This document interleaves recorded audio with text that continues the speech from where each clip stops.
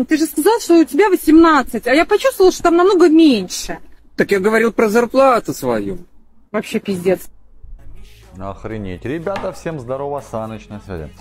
Чаечки, вопрос к вам. Скажите мне, пожалуйста, как вы влагалищными воротами, я извиняюсь, пардоне за такое слово, ну, как, ну вот этим вот отверстием вы можете чувствовать сантиметры? Скажите мне, пожалуйста. Нет, визуально определить, окей, там, потрогать, определить, окей, там, примерно, опять-таки, да, там, досконально без линейки ни хрена не определишь. Как можно вот этим вот почувствовать, что там было меньше?